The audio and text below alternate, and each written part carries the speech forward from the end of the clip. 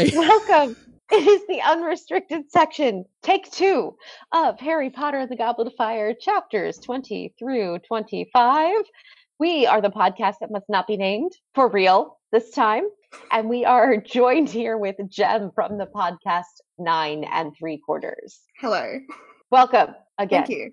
I'm sweating. I'm a little It was embarrassed. incredibly stressful.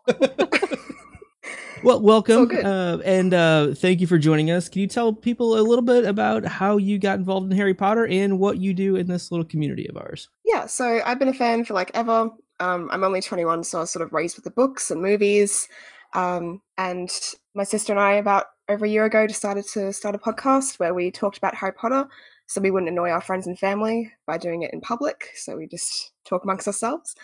Um, and we just try and answer as many questions as we can about how the series works and how the world works in general. But it's uh, explicit content, adults only. so kids probably wait a few years before listening to it. I, I think it's interesting, Luke. We, we found the Australian versions of us. right? Yeah, Yeah. no, it we sounds. literally started the show for the exact same reason. Well, don't you know, like everyone in the northern hemisphere has the exact opposites in the southern hemisphere, so that's how it It's works. so nice to meet you. It's like that Or Star Trek me. episode where everyone they they they have the uh, alternate dimension. There's a different. There's a, a copy of everyone out there. So yeah, that, that's our Yeah. science fiction version of uh, the Harry Potter community. It's a s- it's a hemispheric thing. Hmm. a mirror verse, as Yeah. one of our Yes. friends, Alicia, in the um, chat just threw out there. So I appreciate that. Just so you know, all of our listeners, you are hearing this either live on YouTube or you are hearing it on Patreon at patreon.com slash stayimaginary, where this unrestricted section is available for all of our Patreon listeners. If you are not a Patreon listener, please go to patreon.com slash stayimaginary and join our legion because you can get access to this and any other of our content from all of our shows at the family, the podcast that family. All right. Does everybody have their signed permission slip to be in the unrestricted section from their favorite professor? Yeah, smarmy Lockhart's Yeah. on mine. Of course he did. Je- oh, okay. See, now we can be friends. Mine is signed by McGonagall as well. Excellent. All right. Mhm. So we're going to jump on in. We are discussing any and all content throughout the entire series related to Chapter 21, the House Elf Liberation Front, Chapter 22, the Unexpected Task, Chapter 23, the Yule Ball, Chapter 24, Rita Skeeter Scoop, and Chapter 25, the Egg and the Eye. So, Jem, let's. I'm going to go ahead and turn it over to you and just throw it at you is there anything that stood out to you in these first these couple of chapters that you came in going man i really like this or i really want to talk about this particular idea Yeah. Okay. So um, I sort of have it chronologically. Um, excellent so in chapter 21 when we find out that harry still has like the miniature dragon that he was given for the first task Mhm. and i just really i love that and i was thinking what kind of miniature animal would you guys want to have as like a little little friend Hmm. Mm. Melissa's i feel some- like i know especially with the fantastic beasts movies that have come out and have really opened up the world yeah like i want a niffler just in it'll gen- destroy your house but in miniature i have children they already do that yeah, that's true. that that's that's nothing and i have life. nothing to value because i have children so i'm good um, fair enough a miniature version. I mean, I like the idea of the miniature dragon, to be honest. Yeah, I like it how in actually I think it's the sixth movie we see it like blowing on popcorn and making popcorn. Like that's such a good Yeah. use. they Or, actually like, have a, I pr- a practical use, right? Like that that seems Yeah. pretty Well, useful. And I get cold a lot. Like I'm sitting here now and I'm in a hotel room, so I don't have like my extra blankets or, you know, jackets or whatever. So if I had it with me, I could like blow it on my toes, which are a little chilly at the mm. moment, you know, like just a little toasty, warm up the blanket at the end of the day, you know, Yeah. a safe distance. But Yeah, yeah, no. I think I like the miniature dragon. How about you? um, I mean, I could get like a miniature Snape and drown it in a toilet, but I think I'd want Oh. something that I would enjoy. So maybe like I I, I like the miniature though. dragon. Um, I do like snakes, so maybe like a tiny snake I could just wear like around my finger. Oh, that's kind of cool. Like, hey, Like, a, it's my like it's little kind of like a, a ring that moves around, right? It can almost like, like switch fingers. That's kind of neat. yeah, Okay, so I have to. what is your Hogwarts house? Slytherin. if it wasn't obvious. Which is totally fine. We are all about house equality on this show. very much. First of all, because while I am a tried and true Ravenclaw, my secondary house is Slytherin. No questions asked. that is Yeah. absolutely my secondary personality. But like I could tell you're like you talked about Snape, you talked about snakes. I'm like, well, she's not a Gryffindor, right? Gryffindor would never de- deign to have a snake on their finger. No. no. Yeah, no, I love snakes. I'm definitely Slytherin at heart. Probably a Hufflepuff second, to be honest, because then if I could be a Hufflepuff, I'd work really hard to like be the ruler of Huffle- Hufflepuff, and like because they're such hard workers, they could be Yeah. used as like a force. Like, If they could just if they could just They are. organize, they'd be powerful, right? You'd be the queen bee. mm, yeah, of, own all the badges. I actually don't hear too many Hufflepuff Slytherin combinations. Like that Oh, doesn't really? happen I reckon they're quite similar. The whole like teamwork thing, hardworking, loyalty to those that are their own. I see like a lot of similarities. Okay, I can buy that. It- Mm. you'd be the Mm. expert, so I, I no, I appreciate that. I just I haven't heard too many people talk about that combination. It, to me, it's it's.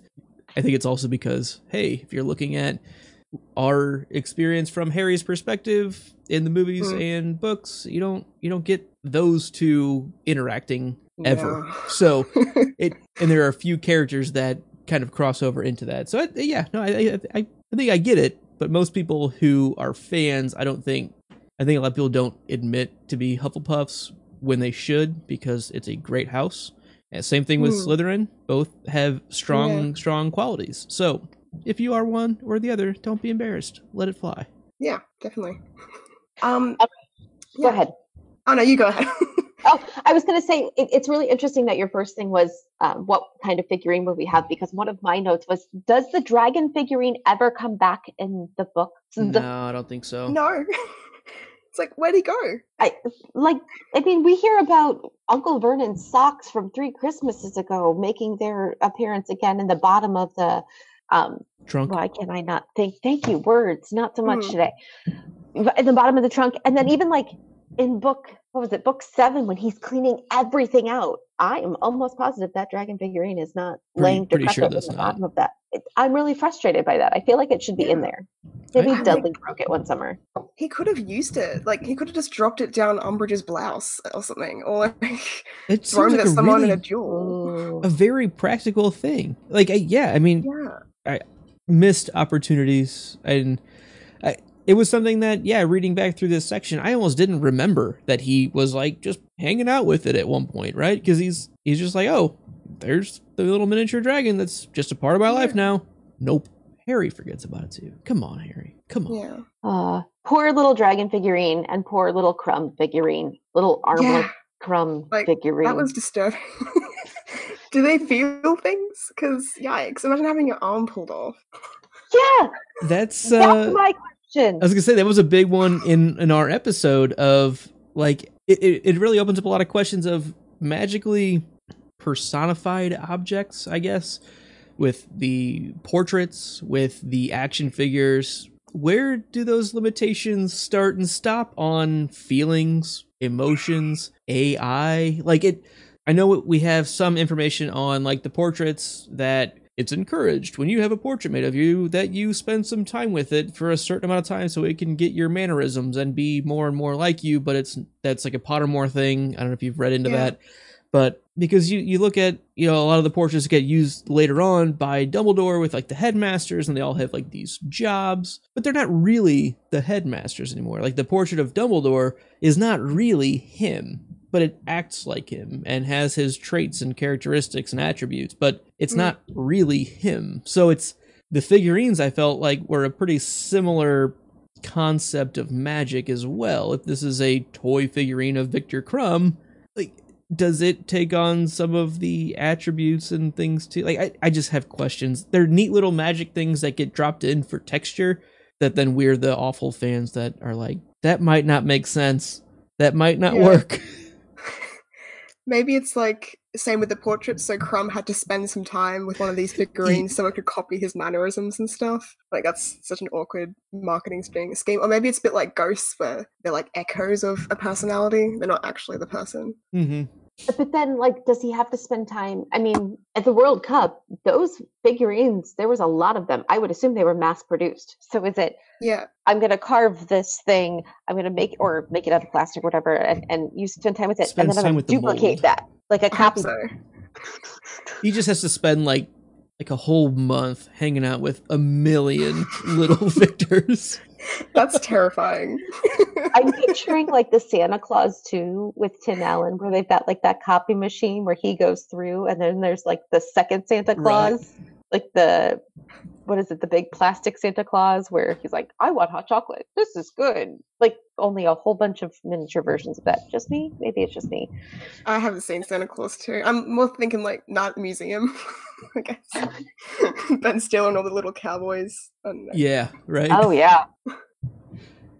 But it's a, All it- it's a really good question, and I don't think we're ever gonna get answers, which is fine. Yes. I'm sure if you tweet JK, she'll answer you with something. Oh yeah, she'll she'll get right back to you. yeah. I don't know if I want to know. I like my own headcanon sometimes. She'd be like, they're actually a tiny race of people that live like the Underneath Underneath lane four of the bowling alley. Yep, yeah, yeah. Night Vale. Night Vale, there it is. Oh Yes! man, I'm so glad that you got that oh. reference. Oh, that was a pretty deep. That was early Night Vale stuff too. That's a deep cut. it Yeah. was. Of the big Rico's Big Rico's. bowling Pi- alley. oh, that's Pete. That's the no, pizza place, that's right? the pizza place. Somebody's bowling alley and fun something. That's been a Oh. while. Yeah. That's been a while. Love me Fun some Night Vale. I want to say. Yes, yes, yes. That's Yeah. what I'm. Oh, I'm so happy now. I have a question about Snape, and, and and obviously you two are going to be so excited about my question. So I have a problem with Snape testing poisons on fourth years. Mm, I do too. Okay, not only because he's testing poison on fourth year, so I get it. Okay, that's bad, whatever. But also, they do that in sixth year with Slughorn. They do a whole you have to create your own antidote thing, and Harry can't do it, so he runs into the closet and gets a, a bezoar. Hmm. So why are they also doing it in fourth year? I think that's just Snape. Like, I think the curriculum asked for it in later years, but Snape's just like, I hate people and I hate this class, so let's do it in an earlier year, just to Oh. torment Harry Potter. All right, I'm just going to say I think it's cute that you think there's curriculum. I am under a firm belief that they don't have any. okay. Um, Rhea and I actually did a whole episode on this and Hogwarts subjects and the curriculum, and we did find that there was an order to the chaos, but yeah, I can relate. It does seem like nonsense. I have huge issues with the curriculum because that's what I do for a living too. Yeah. Like, like I write curriculum and I'm an instructional coach, making sure teachers follow curriculum. I'm not Umbridge, although I feel like Everything like- that you have stated in this I know! podcast has led to me has led me to believe, wow, Melissa is essentially been asking for Umbridge So when we get there, I don't want to hear a peep out of you of, wow, this is too harsh. No, that's what happens when there's nothing and you introduce something. that's what Yeah. happens when there's nothing and the government takes over. yeah, we, we've we've made that point for sure. it's, I think that's pretty fair too. So. I, so I, I I just can we agree that probably this is not an appropriate fourth year activity. Definitely not. It's inappropriate for 14 year olds to be testing poisons. Luke, thoughts? Um, I mean, it, it sounds like it's it's what they're working on. I I really don't like defending Snape at all, but I do think he does have a method to his madness of teaching, aside from just being cruel and bullying and awful in general. I, I think he typically does take his teaching aspect pretty seriously, and he of anybody, McGonagall's the only other one that I'd put this. Maybe Flitwick too um, and maybe Sprout too. We just don't get we don't really get enough classes in theirs to really know their teaching styles very well. But he Snape is very meticulous to a fault at times, and he's also a garbage human being, which doesn't help. But um, I think in his if anyone's gonna have curriculum, I think it is Snape. I, I think he does follow a he sets objectives and gets through them, whether or not the class can handle it or is up to it. He has planned things out for them to be at this point. It's it's their fault if they if they're not keeping up. So, the, are you saying then that Slughorn's Newt level class is too easy? No, I'm saying that's a much more advanced of, hey, you have no idea what this poison is. Here is a full lecture on antidotes. This is figure out what the poison is and then come up with the antidote, as opposed to here's the first exposure you have two years before that of this is like the overall idea of here's your poison, here is a simple antidote that you get to. It's it's it's like the, the the first step in that process of that, The that progression works. Hmm? It's, it's it's a stair step progression that spirals back over time. I'm with you. You have sold me on it. Yeah, Totally It's just it's their first exposure to it, and he's literally saying, "This is the poison. Come up with this antidote." It's one to one, as opposed to the Slughorn, which is a Newt level class of you don't know what this poison is, figure it out, and come up with the antidote. It's much more complex at that point. I think that perfectly answers my question. In which case, I think these lessons are perfectly appropriate and wonderful, except for the whole trying them out on kids things. But besides No, no, no, that, that's fine. That's fine. But Snape's off. everything else is great. All right. All right. Anybody have another thought before we jump to one of mine? Anybody want to um, throw one out there? I was interested in because Winky was wearing like the clothes that were fitted for her. She wasn't taking care of them, but she had clothes that fitted her perfectly. So I was like, who makes that? Like, because there's not really a market for elf clothes because clothes don't elves don't get clothes unless they get freed. It'd almost be like large scale doll clothes, right? I mean, like, because like mm. that that scale is odd. Like you're saying, like it's it's not even like I guess maybe goblin clothes would be in the similar realm for creatures that we know, and for also Yeah. being bipedal and all of these things. But, But have we seen any like female goblins though? Because they were ladies' clothes, like it was a we, skirt and blouse. we haven't. But, Mhm. but I would assume they're well, clothes don't have a gender, but I mean, yeah. I'm almost thinking it's like an elf Etsy store, I like that. like a like uh, some uh, homemaking wife who, in her free time, likes to make clothes and it does it as like a side job because you can't make it a full time job, right? Get a Mm. little bit extra cash or something coming in, and sure, she hand makes clothes for elves So- who have been unfortunately freed. Like she does it almost like a Like a a charity. charity case, like like a DonorsChoose or or a GoFundMe. let's let's talk about wizarding clothing enterprises in full scale everything anyway. I mean the only information we really have is uh the tailor that harry goes to in book one for robes madame Madam malkins right? Malkins. Mhm. and as far as we know there isn't a, a target for for wizarding robes. There's there's not necessarily mass produced everything we've seen has been specifically tailored. They take measurements. They do that. If crouch is going out and getting clothes which is what he says this means clothes he probably takes her to like malkins or another wizarding tailor and gets her fitted for clothes like i, I think it is knowing crouch at least that is not surprising to me Hmm. I mean, like there is Gladrag's wizard wear though, so I'm assuming that Madame Malkins is like a specific tailoring thing, and maybe That's. Gladrag's is more like a departmental store. That's kind okay. All fashion right, I was I wasn't thinking of Gladrag's, so I Yeah. I, I pulled it back a bit, but I still Mm. think it holds true for Crouch's character that if I'm gonna free my elf, it's still gonna be very specific be on how it's business-like done. about it. Right.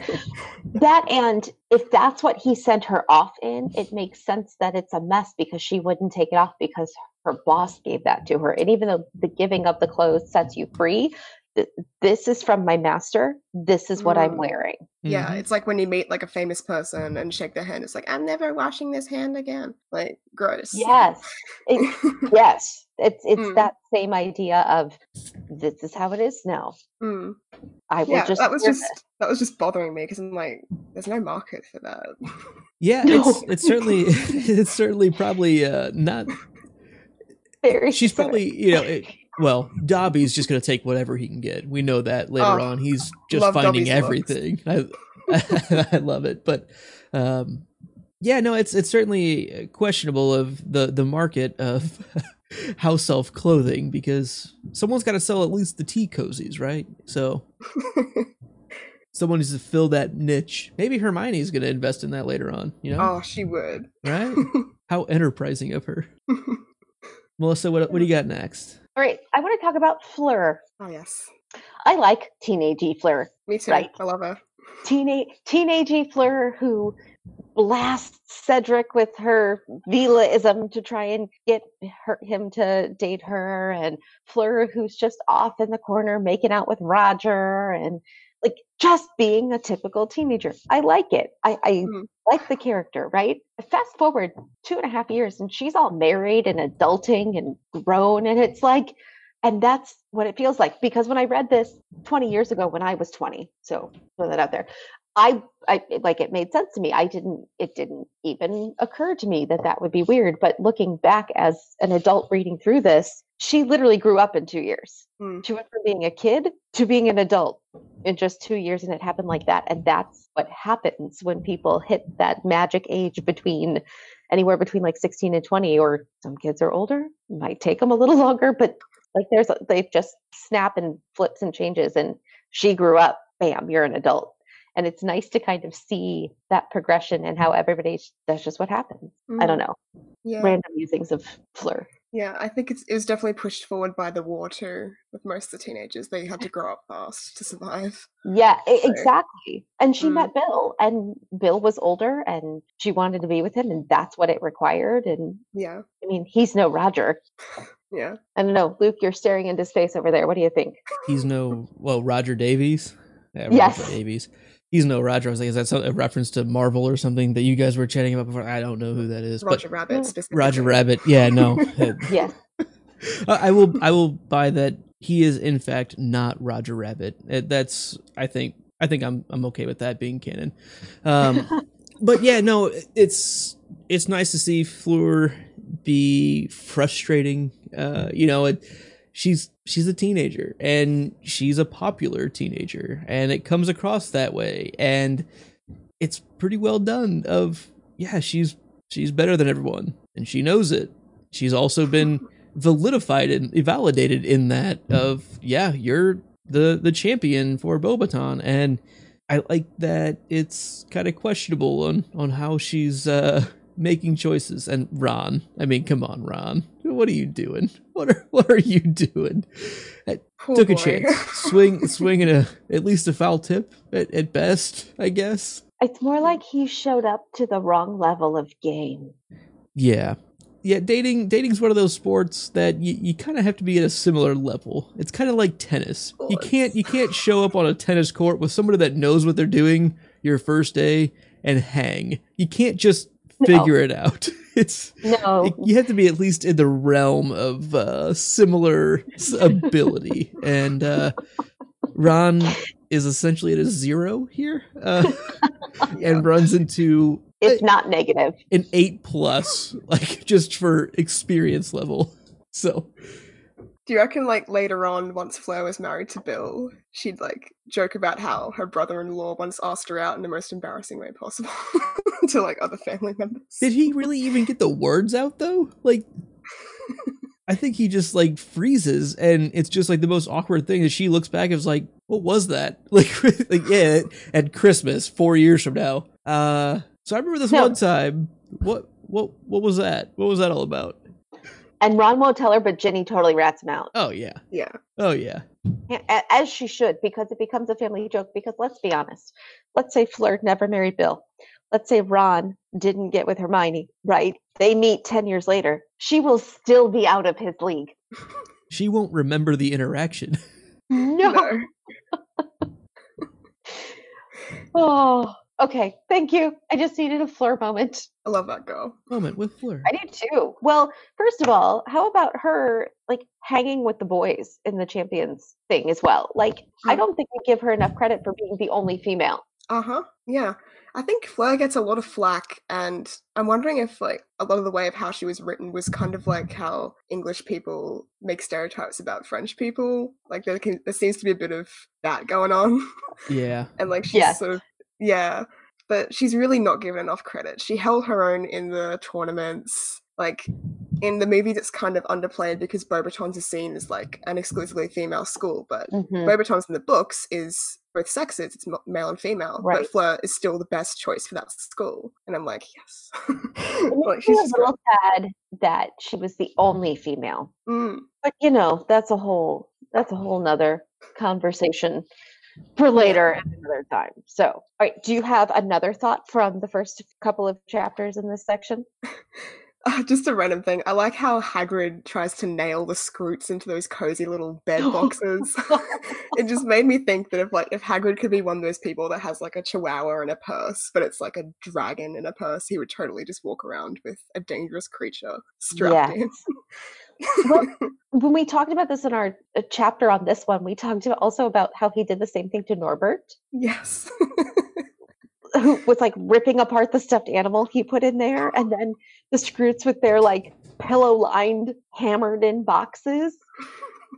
Like what else? So I mean, what else does Hagrid have? He's got Fluffy, the three-headed dog. So what's he Mhm. going to build? A three-headed dog cage. Um, we've got the Thestrals. So what kind of container can he build for them? Put Fluffy in his handbag, right? Like walk along. with yeah, yeah. He could carry Fluffy, maybe. Like Maybe. a unit. Or Fang. Oh my gosh, I like the I like the idea of a dragon in a handbag though. That's pretty funny. I want to talk about Percy next. oh yeah. Um, so Percy being Mr. Crouch's stand-in, right? So both at mm-hmm. the Yule Ball and then as we continue on through like task two and so on.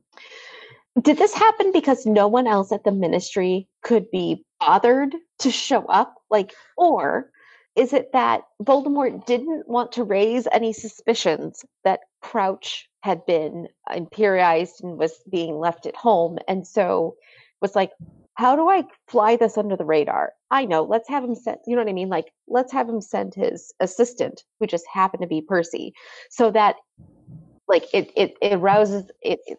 I can't even talk. I'm sorry.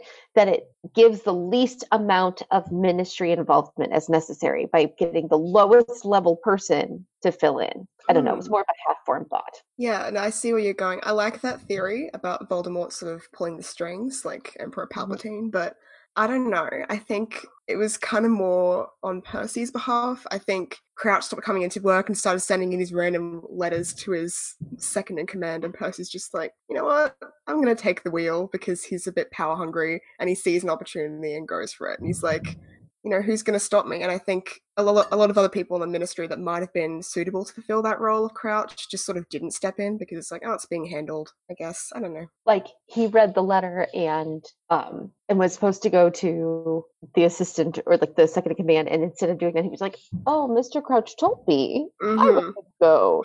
Ooh, I like that idea better. Okay, Yeah. I'm with you. Okay, convinced. Luke, how you hanging over there? Yeah, I I feel like Percy will go out of his way to put himself in the position to have the opportunity for something like that. And he's certainly not going to shy away from this thing when it comes up of like, hey, okay, he's going to be out. I'm just going to roll with it and take as much on as I can because he is very, very ambitious and it only looks good for him if he succeeds. So, how do you succeed? Take on more. We'll see if he can handle it. Um, but I'm not surprised that Percy does it the way he does, and I, I don't dislike the idea of him just like kind of interceding and putting himself in that position of he gets this letter and he's getting responses back from Crouch a little bit at least. So I'll just go with it and we'll just we'll just make it happen, right? I'm not going to I'm not going to escalate this problem. I'm not going to elevate it to up the rung at all to say like there's something fishy because it's an opportunity for him to take the reins and make some choices whether or not they're good uh, i don't know but it's not surprising Yeah. Percy's probably getting let- letters from like Crouch, and it's like, oh, magic carpets, lemons, all the dash, and he's just like reading his like a random scribble, a picture of like a wizard's hat, and he's like, hmm. All right, here's the direction we're going. like a board meeting. lemons fly carpets lemons he's like, Mr. Crouch is such a genius. Ah, this is This is everything I ever wanted for a first job. It's amazing.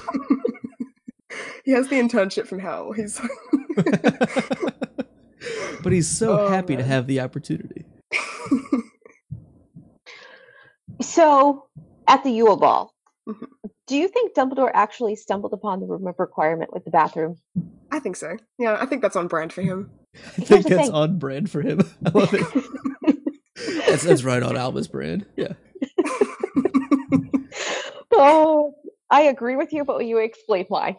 Well, his whole story about oh, I was just I needed to go to the bathroom and I was stumbling around around five thirty. I mean, Dumbledore's an old man. I can believe that that might happen in the early hours of the morning, and I don't think that he knew about the room of requirement. I think maybe in fifth year when the DA started using it, he started to learn more about the room, but I don't think at that point he knew that it was a part of the Hogwarts layout. I literally didn't think it was the room of requirement. I didn't put those two things together for years, Yeah. reading and rereading. It says it. Harry says it later on. He's like, I think Dumbledore, because when he's trying to figure out the place to go to, I know. Mm. I know. Okay. All right. Doesn't matter Harry figured it out and Melissa didn't. Nice. Ooh. Tell Abby. He gets Sick a burn. point. There it is. Uh, um, did you notice at the Yule Ball, Dumbledore? I think it's at the Yule Ball. I don't know, somewhere in this section. Dumbledore conjured a plate of cakes. Did he? hmm I don't know where, but I wrote it down. How? Luke, are you searching possibly? No. Sure. Yes. yeah. Okay. Will you? Because I'm actually. here's my wrong book. problem. Here's my problem. You Mhm. can't conjure food from nothing. It's one of some so's laws of something or other. There you go. transfiguration. yeah. Thank you. Gaunt. Gamp. Gamp. Sorry. Gamp. Gamp Comp, something like that. So why did he? How how did he get the food? Are you sure he conjured it from thin air? Because maybe he just transported it from the kitchens. Like, Right. Yeah, I would assume it was a form of food apparition, mm, which is similar to how the food works in the Great Hall in the first place. Yeah. And I think in second book, McGonagall does something similar. She has like the endless plate of sandwiches that she leaves out for Harry and Ron after they crash into the Whomping Willow, like legends. Um, so something like that. But I don't, I don't remember him conjuring the cakes. Oh Okay. no! Hold on. It's not at the Yule Ball. Oh, New oh is it information. at Hagrid's hut? It's in Hagrid's hut. Right. So I'm flipping madly in my book here. Um, if you're interested, the word conjure is used 61 times in the series. There you go. Fun fact: Are you writing that down as possible trivia, Luke? No, that would not be acceptable as trivia. Here we go. So it is in the chapter Rita Skeeter's Scoop, page 453 of my version. And it's right after Hermione runs without being out of breath. Um, For I the feel like first that's time. important to note. Hey, Hermione climbed the stairs and she was winded. That's like every other time. Right. but she runs from Hogsmeade to Hagrid's hut. Not a problem. It's pure Appar- rage. just Apparently, she's a distance runner. so here, here's the li- here's the paragraph. Forty, I think," said Dumbledore, closing the door behind Harry, Ron, and Hermione. Drawing out his wand twi- and twiddling it, a revolving tea tray appeared in midair, along with a plate of cakes. Dumbledore magicked the tray onto the table, and everyone, everybody sat down. Hmm. Where do the cakes come from? Well, it's Hmm. I would assume it's kind of a similar question of like aguamenti, right? You know, you can conjure water to come out of seemingly nowhere, but it has to come from somewhere. So that I mean, it, it has to. I mean, technically, you could aguamenti, and what you're doing is pulling water mo- molecules from the air around you. So I actually could see that one being But it can also work Like- for wine. reasonable. You can spout wine from your wand. Yeah. We've Okay, that, that, just sounds like a great skill. right. I'm not gonna. I'm not gonna fight against that out. That'd that'd make that'd make the uh, drinks and nose podcast a lot easier, a lot a lot cheaper. I'll say that. the Gamp's law thing makes my brain angry because it's like the exception is food, but food is a construct. Anything's food. Like I could pick up anything and eat it realistically. Don't try that at home. we do not support what Jem is talking about. Not everything is food. Uh, no, I, it's it's a it's just, it just depends on your effort level, is what she's saying. I But- feel I like mean- I need his thesis. You know what I mean? Like the his his laws of whatever. I I need to read it to be able to understand it. Yeah, well, there is no thesis. We just know what the exceptions to his rule are. We don't actually know what the rule is, which is frustrating. JK, I need answers. Yeah, like I'm not kidding. I need the study. I need the research. I need. Mhm. God, I sound like a Ravenclaw. It might be the I most need the Ravenclaw thing I've said. yeah, like I need the plan. I need everything that goes along with it. The logistics of how this works. Yeah, the Gamp's elemental laws of transfiguration has always been something where it obviously came in pretty late, right? It was introduced in book seven, right? That's the Mm. first time we, or is it late book six that they talk about it? But I know Ask it's it's seven, right? Because it's when they're it's, it's the camping expedition. Yes. Yeah. and Hermione's like, we, we we learned this. And it's like, oh, okay, I guess we did, but um, because Harry and Ron don't pay attention. But um, it was always And everything. And Hermione's like the internet. Everything she says is true. sometimes but um like it's funny i'm i feel like i'm complaining about something that i specifically do i i love thinking about the science and how the magic works you know i like to understand how it makes sense and this is one of those where like you almost kill the magic by giving it rules you know what i mean like it it- it's almost like just leave it alone just let the magic be magic in this one and don't open that door because it's just a lot of doors that you're opening and closing and it it confuses certain things like this offhand comment of I'm sure you can still justify it working, but there are certain things where just don't don't put a rule to it. Okay. I so- disagree. Oh, okay. Go Ooh, ahead. Getting spicy. Um, I disagree because if you don't put limitations on the magic, then it creates a lot more problems with how the story works. Because then you could be like, oh, why aren't wizards going and solving the problems everywhere? True, and why true. are wizards poor and all this sort of stuff? we can't can just generate food time? out of nowhere. Like we And- still have to have yeah. tension with those Yeah. characters and things. So I, It still builds conflict. yes. Mm. It just depends on how you present it, I guess. Is maybe my point of Yeah. when The you laws need to be more introduce it as such a rigid tenet of magical theory, it it can become kind of questionable at times. And this is just one that I almost feel like more questions are raised than answered for this the the short term benefit of ease of storytelling and ease of conflict. You know what I mean? Like I, I know that that's basically the trade off of the rules allow you to tell a more tension grabbing, exciting story. But there are certain times where it's like, well, maybe don't make it sound so rigid and then give us nothing because you don't want to put in the work of figuring out how it's going to actually play out. Or have figured it out earlier. Right. That's the other thing. It, when it comes in in the last book, you're like, eh, because basically what happened was I found a mistake that doesn't go with something she created later. yeah, this is a come on, JK. That's I think the crux of where I'm glad you put it that way because if you read a like a, a story like um, Patrick Rothfuss, uh, Name of the Wind, it's Mm. all about magical theory and like the rules are very deliberate and it's very well thought out.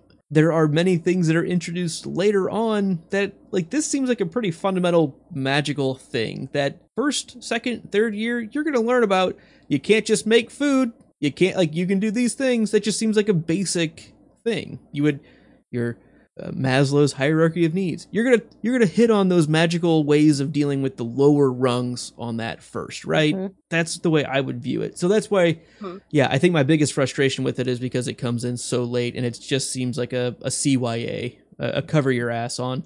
Wow, there's a lot of theories out there that this would just like why why is it so difficult? Oh, it's because there's this other thing that we didn't tell you about. Oh, that's because the curriculum didn't get there. it's not relevant to Harry's journey, so we don't actually. He had need to house elves doing all the work for him until now, which is This is th- actually this true. is why this is why like Lord of the Rings is my favorite because all those things were figured out. Yeah, or they just all. don't come up and they're just like, ah, we're just not gonna worry about that. It's just it's just not a part of the story, But but I am going to write seven different languages. right? And invent Give lembas bread. alphabet for all of them. Sorry. Mm. All right.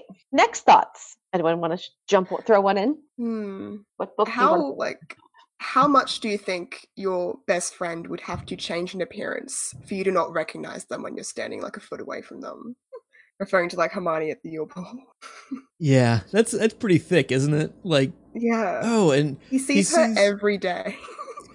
he sees Viktor walking up and a girl he didn't recognize and the rest of them like I get like in that portion where he sees like the group he's not going to focus on every single person it just kind of glances over and just like Mm. okay like uh miss whatever you know a- across the room but then it's like it's a little while before he's like oh that's Hermione whoa yeah that's pretty bad Except, okay, I'm I'm gonna I don't disagree with you. It's bad.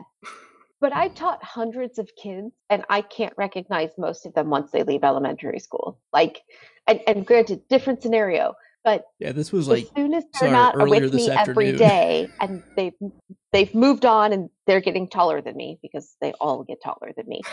And and they come back, they're like, Mrs. Crowley, and I'm like, hello small "Who knows adolescent you person know? hi, hi, you. How are you? I'm supposed to know this person, right? No idea. So like I can get it from that point of view. Granted, he saw her three hours before, so that's a little different. I, I'm not saying he's right. Here's my other argument in Harry's defense. Have you seen, and this is from several years ago, but it just popped up with me, Zooey Deschanel from The New Yeah. Girl. Mhm. Okay. Bangs, glasses. Take away the bangs and the glasses. Would you have any idea who she is? There's like whole memes on the internet of like her with and without. And they're like, it doesn't look the same person. I would not recognize her. And I wouldn't either because I'm not great with faces. So again, not saying that Harry shouldn't recognize his very best friend in the whole wide world when he saw her three hours ago. I'm just saying I could see how being completely out of context of what he knows of his best friend, seeing her a completely different way would take a minute to like, oh, that I'm supposed to relate what I see here to what I really know of you. And there's also that familiarity complex of if you see something that is different, like I, I see you every single day, and you change one of the fundamental things about you that makes you the visual appearance of what you are, like it. The way our minds work to follow patterns and things like that, it, it's not surprising that, like, oh, okay, I don't see that very familiar trait that creates the quick thought of, oh, that's Hermione especially in the glance. I guess it's it's not too Yeah. surprising. I actually just realized that happened to me the other day. so I've exposed myself. My friend got like her hair dyed, and we went to the movies together. And I was talking to her, and she walked away, and I walked over to where she was, and I saw her from behind. I'm like, "Who's that?" And then she turned around, I'm like, "Oh right," because like one feature had changed about her, and I just completely. So yeah, I've done the same. Wow, I played myself. And we've come Good, full you proved circle. my point. so fair enough. Harry's valid. No, if it had been Ron, I probably wouldn't be so forgiving. what? I don't know why. I, I, which is funnier because he's denser. I was gonna say it makes more sense that he wouldn't. Except that he's got this like unknown weird obsession with her at this point. It's still Hmm. wrong. So okay, fine. They're Well, both doesn't it say dumb and like wouldn't know it. I think the line in the book is that Ron was acting like he hadn't even seen her, so maybe he didn't see her. I don't know. Like like didn't recognition see her. yeah, didn't like- acknowledge that it was her. Yeah. but it could just been his jealousy being like max. I don't know. It could be both. Yeah. All right. Next thoughts? Anyone want to jump in? Nope, take it away. All right. The Sleek Easy's Hair Potion Corporation. Mhm. I want to know what structures are in place of the Potter family conglomerate.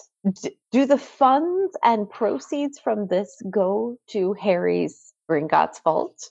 Does he still have an retain an ownership piece of the company?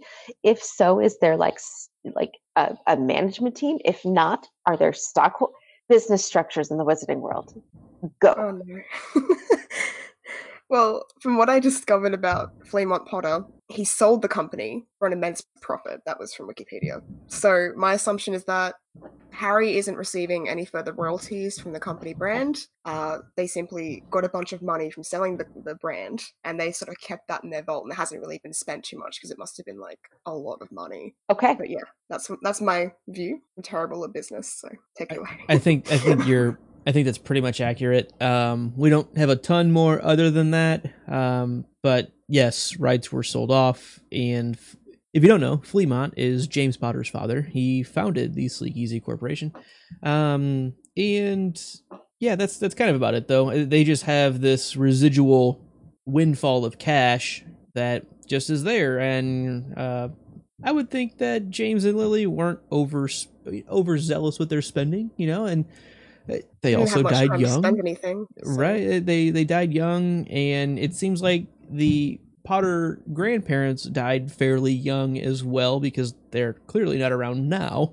So Harry's not spending a ton. He is fiscally responsible as far as we can tell because he chose not to get the gold plated cauldron like he was wanting to, which would be questionable for a cauldron anyway for gold. lower melting point, but um He's living within his means. he is living within his means at this point. So Hmm. I, I, I think that's I think that's about it though. Yeah. Okay. So I need to preface this next section for us and for all of our friends hanging out in the chat. For those of you listening on the podcast, we do live stream most of our episodes and we are live streaming as well. So we are here with people who are hanging out in the chat. Thank you, all of you, for doing that. I want to remind everybody that this is a family friendly podcast and we use family friendly terms and vocabulary and topic discussions. So while my next question might take us down a road, we're not going down it. We're going to keep it like low level, okay? Here we go. level. Mhm. so we are aware of the tangents. Disney. We are avoiding the tangents Mhm. as uh, tastefully as possible. Okay. Um, and and somebody in the chat just asked, even in the chat, and I'm going to say yes because I because my six year old can get on YouTube, and if my six year old can get on YouTube, the ten and eleven year olds who are just discovering Harry Potter can't too. So I just Mhm. want to like throw that out there. Sorry, I sound like such a mom. Okay, here we go. Especially if you're coming over from the Drinks and Nose podcast. Uh, very, Right. very different. very different. So I'm I'm I'm laying it out there very blatantly. Human giant relationships based on what we know of, and I'm going to say it wrong, Grop Grop, yeah. from book five. Yes. Do giants have the communication, comprehension, emotional space to be in a relationship with a human? I'm specifically ta- talking on like an emotional, intellectual, like Consent level kind of Love. deal. loves type level, not a um anything else that that could entail.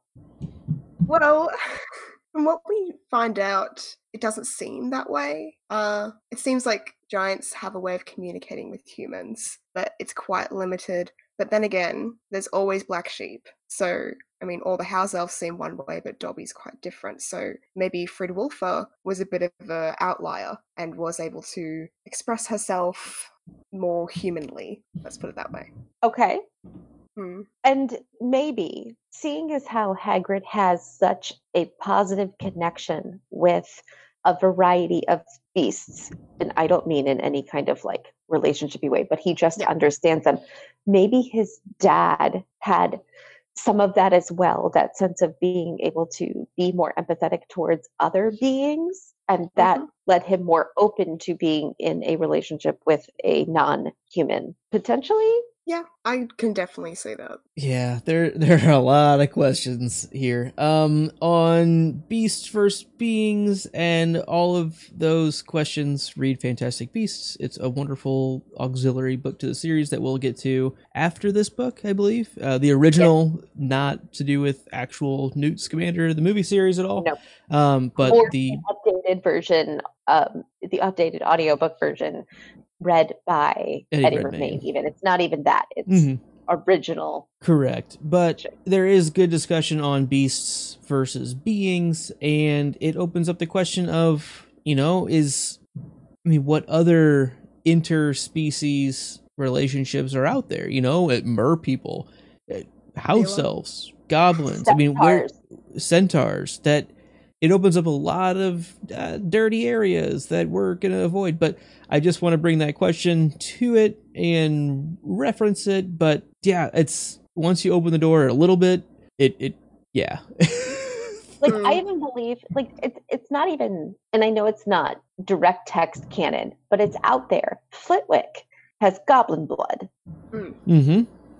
you know, and so we have characters of varying interspecies mingling and it just interests me on a an emotional relationship level. How does that work? I mean, I can I could almost see a goblin human, right? Your outlier goblin because they are more cognizant. Yeah. Or even an outlier human. I mean, that sure, Right. sure. I'm sure there are definitely humans that would relate probably better with goblins than other humans. Yes. That is certainly out there. but the giant one throws me a bit.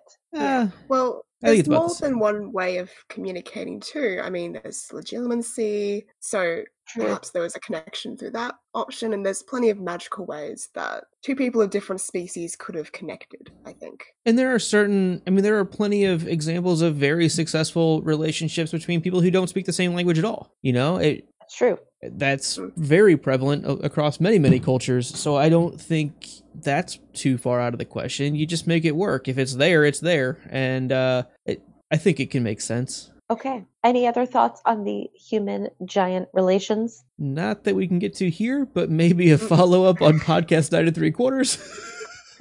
Oh, we've In touched on this subject before. Excellent. Oh, okay, moving on.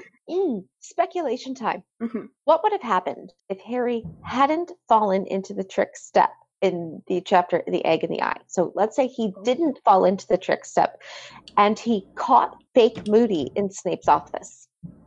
I think Moody would probably Moody would probably have obliviated him. Hmm. But that might have caused a bit of problems because Harry mightn't have remembered what he'd learned that night with the egg and then been confused about what had gone on and so he might have figured it out later on Okay. that something had gone wrong. Because Moody can't kill Harry or capture him yet. Can't he? Gotta wait for the right moment. Can't he? I have fundamental problems with the whole idea of book four, to be completely fair. Of like, just off him. Just kill him. Just kill Harry. You're done. like just bring the body to to Voldemort. That's it. That that much simpler than this convoluted Put him in like a Like- big sack take him Make like a, Pied- a, a Pied box with a stick and then get like a golden object inside. So Harry goes crawling in. there there are stick. there are Got it. two characters that could easily walk around Hogwarts with a gigantic sack on their shoulder and have no questions asked. Hagrid and Moody. They could just get away with it, being like, "Yeah, that makes sense." Like that's what they would be doing right now. They would be walking around with a giant person-sized bag uh, over their shoulder. Let's get to Hog. They're taking it to Hogsmeade. They're gonna go have a drink. It's fine. Like no one's gonna question that. And if they did, Help! like, no, he's Let dead. He's dead already. I'm, I'm saying that he's carrying the corpse. He's just carrying Harry's Oh. body. Harry's gone. He's dead already. Because he doesn't have to be alive to, Yeah. to get the blood for the, the potion later on, right? You just, you just gotta have the ah. blood. Well, you know what the answer to that is, Luke, right? Narrative. Plot armor. Yeah. Yeah. Harry Potter is Jon Snow. Yes. Yeah. Oh, yeah. And Luke Skywalker. It's classic. Yeah, And journey. Frodo Baggins. It's a little different than Frodo. A little bit different. But A little bit different, which is why I like Frodo the least. I love Frodo. Oh, Lord of the Rings, my all-time favorite book. Frodo, not my fave. He's so ordinary though, that's why I love him. I like Fatty Bolger. Big miss. Big miss from the from the movie on that. I like Merry and Sam and Pippin, but Merry and Freddie and Aelin. basically all of the hobbits that end up growing and changing and doing something instead of being just sort of dragging along and being dragged by the people who are there with him. Anyway, But to answer your question of of what would happen if Harry showed up in Snape's office where where Moody was there, I, I feel like Moody Barty Crouch Jr. would have somehow sweet talked his way out of it because Harry trusts Mm. Moody. If if I mean unless Well- Harry literally had has the map up, was like Crouch, Moody, Crouch, Moody? Like, I, which I, I don't think he would, he would do that because he would get there and put the map away is the way I would see it. And so then there's that just distance time enough Mm, that Moody could somehow warp it and make it Yeah. work for his narrative that he is putting Harry through this year because he's the puppet master this year, Well, not you just know- Dumbledore. And you know, as soon as Harry shows up, you'd be like, oh, I thought I was going to see Mr. Crouch. Oh, you thought you were going to see Mr. Crouch? Well, I heard some noise in here. Yeah, he must have I- skedaddled. yeah, like, here, let me spin that story for you. Right. Yeah. So, okay, so so I have a vote for Harry in a stack and a vote for spin it to keep the narrative. Yeah, I definitely think it would be the manipulation vote that he would spin it to be like, oh, you know, Mr. Crouch was here and I scared him off, and Harry's like, oh, but let's go find him on the map. And Moody's like, what map? And snatches it. It's like, oh, I'll take this Show for me." a while. that looks good, thanks. And at the end of the day, there is no scenario where Moody doesn't end up with the map. he always has to. Absolutely. Mm. And right along with that, like again, I really fundamentally think Harry should not have put the invisibility cloak back on him. He can get stuck in the stair. He can drop the egg and cause a commotion and have Filch come out of the woodwork to find him and and all of this stuff, but Harry has every right to be out there right now. Plus, he's Harry freaking Potter. He's going to get away with it. School champion. He, wh- what's going to happen? Oh, I'm to I'm to tell your head of house that you were out walking around with your egg. Okay, that's like my prerogative. Like that's specifically what I'm supposed to be doing. The fact that he Mm. hides himself is the only reason this becomes a tension building scene that we can get this interaction between Moody and Snape. That's the only reason. But Harry would easily have gotten away with it. Yeah, he would have. Or if he had used his newly acquired skill of Accio and had him return his own items to himself using the spell to return things to himself that he just learned.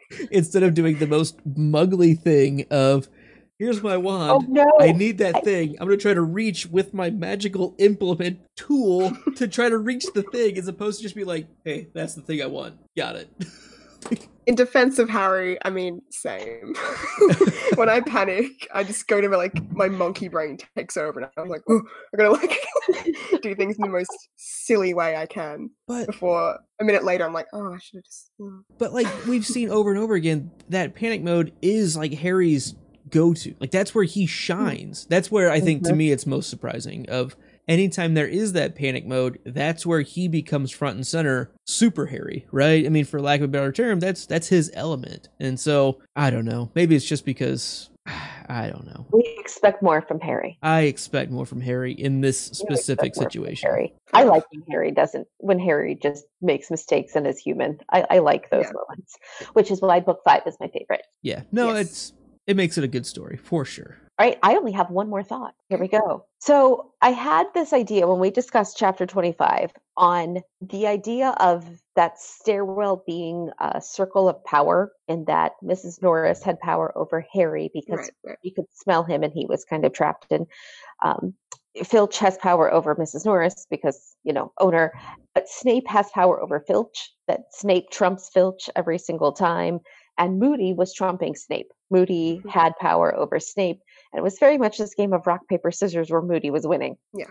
But what I couldn't say when we recorded chapter 25, because those were spoiler free, is that Harry had power over Moody because of the map, Hmm. because of his knowledge of the real name on the map, even though hmm he didn't know that was Moody's name. By saying that, he then had power over Moody, which meant that Harry could kind of get what he wanted in that had he realized the power he held. Well, yeah, that's if if you're walking around with a guilty conscience, right? You're hiding something specifically, and someone has like, "Hey, here's the answer," and you realize that, but know that they don't know it yet. Yeah, no, you're gonna do. You're you're at their will at that point to not create a worse problem for yourself, right? So that's where Mhm. Harry has that power over him, but Harry's being oblivious to it is the only thing that Moody can rely on and try to double down on setting the tone for what and who Crouch used to be. Also, Harry has the wrong Crouch in mind, so Moody will only play up to that and not even breach the subject of there's another Moody at play here, or another Crouch at play here. So certainly Harry has the opportunity to have the power, but he truly doesn't yet, right? Without he has a step he has he has a key to unlock the Yeah. door of power in that relationship, but he's nowhere near actually being able to use it yet. No. Hmm. Like it begs the more philosophical question of do you have power if you don't know you have power or Right. not? I think so. Hmm. And I don't remember where I was listening to this. The idea that babies have power. It. That's that's the last chapter at it that we just did. There it is. Thank you. Babies have power because if they cry, parents in general and like normal situations, right? Like mm, there's outliers, but Yeah. parents then respond and babies learn oh if i Mm. cry they're going to feed me they're going to change me they're going to play with me toddlers have power they have no idea but toddlers have immense amounts of power because Yeah. like they're balls of insanity who can walk and talk and scream and throw things so yes i do think you have power but i think it's once you become aware of it and you're four and you know how to manipulate your parents like that's what it becomes That was all day in my life today. Ooh. it's i'm telling you Real life. Four. three and four, six is great. And older, older is fine too, but like elementary school, that's where it like really evens Mm. out.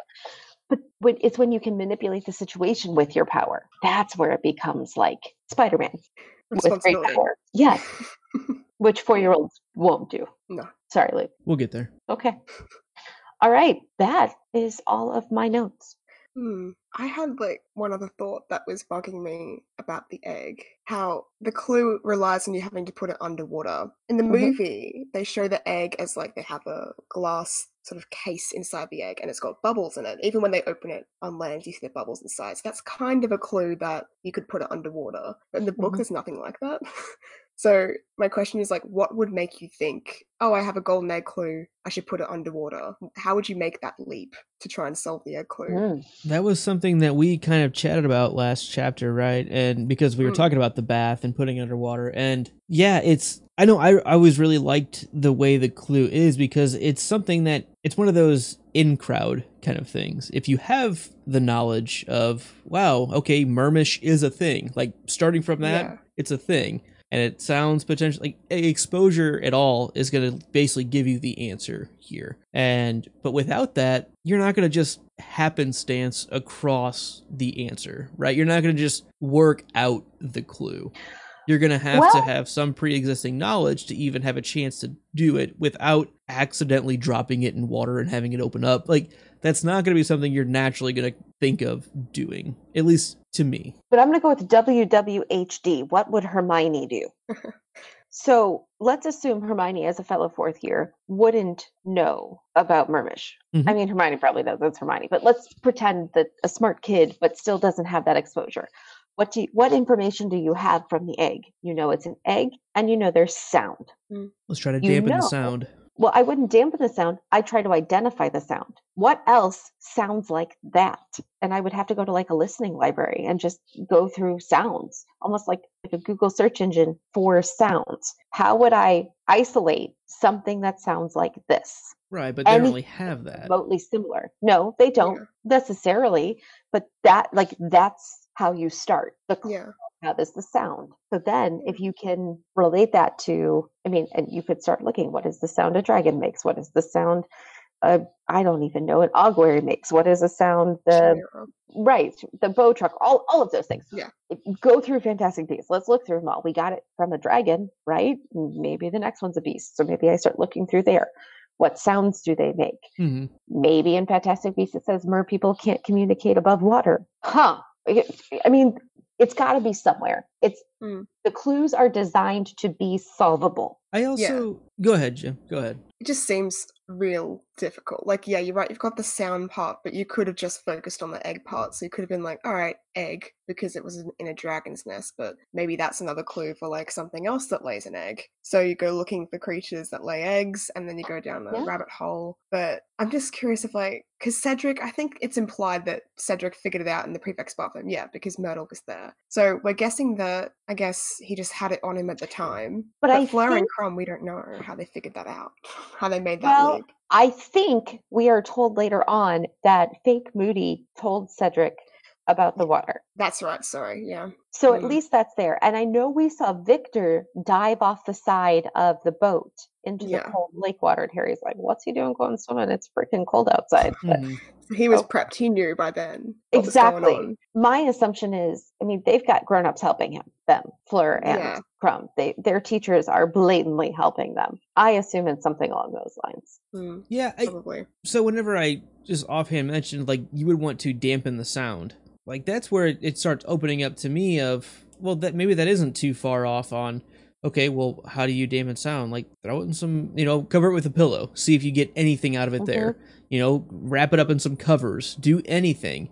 Throw it in water. I mean, because you can hear, you know, when you have that sound of like when you're underwater and you can hear something, it, it's certainly much much quieter for what you're hearing, even if it's incredibly incredibly loud. But it, I don't know. There could be a natural progression of figuring it out that way. Um, but yeah, it's also looking at this is supposed to be 17 and 18 year olds doing this. Newt level classes have finished all of their other magical creatures classes if they took that elective, which they might not have, right? They could easily have opted out and would have no chance at this without help. Um, so, I mean, maybe even, which it's surprising that the magical creatures classes never touch on mer people. That seems like a really, really easy field trip which is not really a field trip because they are literally out in the in the grounds every time. They might in Newt level, which we don't which see. That's because our friends all drop out. Yes, yep, you're right. Harry doesn't take it, and that's like a whole thing. You're very correct, and so that would be a perfect Newt level Mhm. creature, But right? devil's So- advocate, I won't think that the mer people are kind of like centaurs, where it's like we're not creatures to be studied for your amusement. like they have their own culture and civilization, and they mightn't want to be treated like objects. I So guess. the the only again difference I'll bring up is magical creatures is different than beasts versus beings. You can be a magical creature. Wizards are magical creatures. Hmm. Technically, I would I would say they are beings, but they are still magical creatures. They are creatures that are magically innate uh, or imbibed. And so I, I think there's a distinction there as opposed to calling centaurs beasts, which I believe they actually choose to be beasts because they don't They want Yeah. beast status. so So so did mer people. okay, I, I was gonna say I know I know it's mentioned in there. I haven't. It, it's all in the in like the introduction to that book. There's Yeah. In the book, mer people, centaurs, and unicorns have asterisks by their name. unicorns. their yes they have asterisks by their name because the first two are they they were granted being status but requested to remain beasts so that they could stay out of the um like they didn't want any part of the human like government Bureaucracy of system Government side, yeah.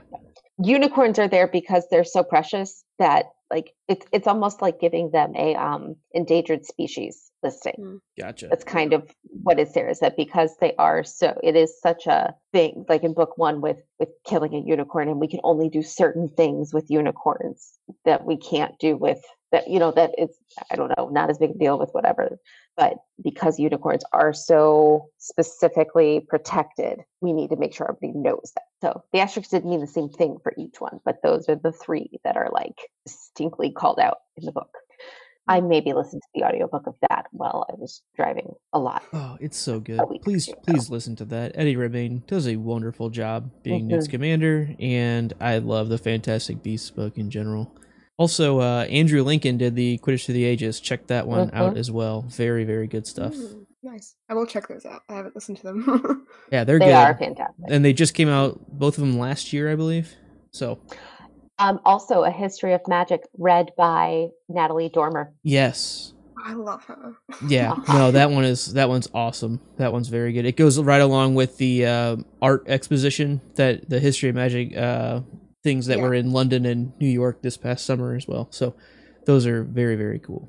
Nice. Uh, Melissa, Right, there was one last thing that I was just thinking about that you referenced in our last chapter about the three challenges that we have, the three tournament uh, challenges, and Oh, yes. you want to take it away? No, because I don't know where you're going with it, but I, I know what you're talking about. So the three Triwizard challenges we have, the first one is dragons, it's fire. Second one is under the lake, it's water.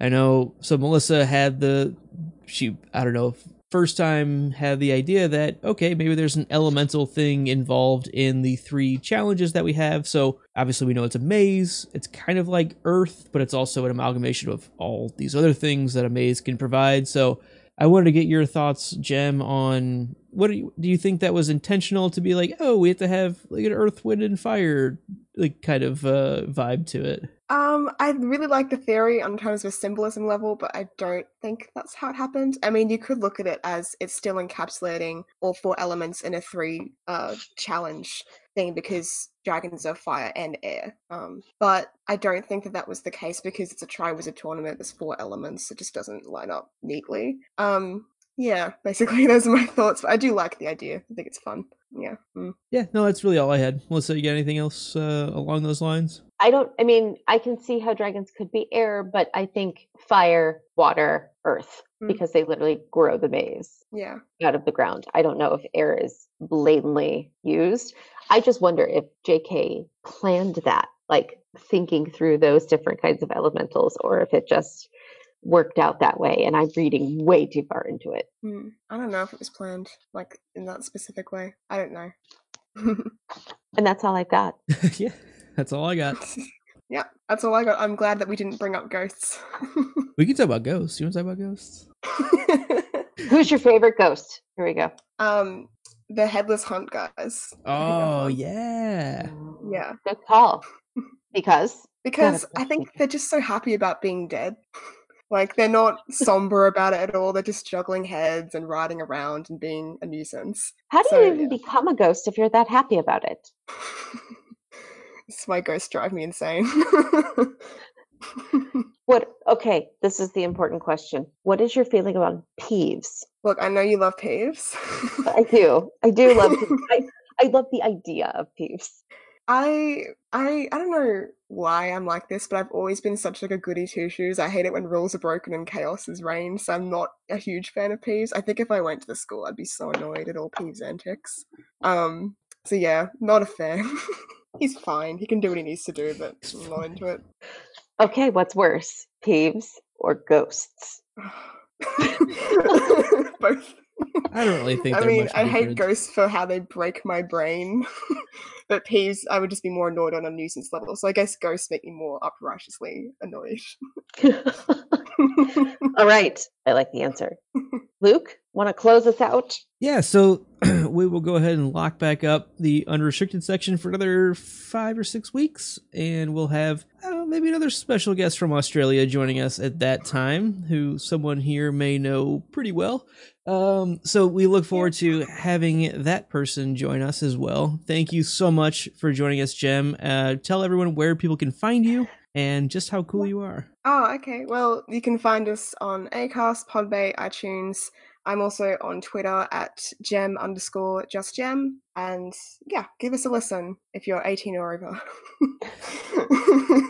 Definitely do. Podcast nine and three quarters is is my one of my go tos for sure. Uh, I don't get too many chances to dive deep into magical theory, and you guys have certainly brought up many, many really good questions and went in different directions than I really would have. So I highly, highly recommend your show.